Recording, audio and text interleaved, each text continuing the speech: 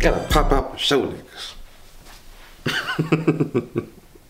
Thank you. I reached my goal after 10 years. Damn.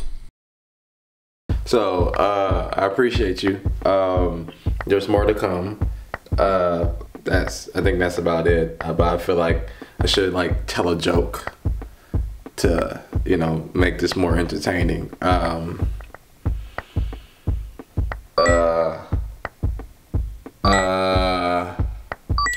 I got one. Knock knock. I'm assuming you, you said the, your part. Um, ha ha. See, I made you laugh.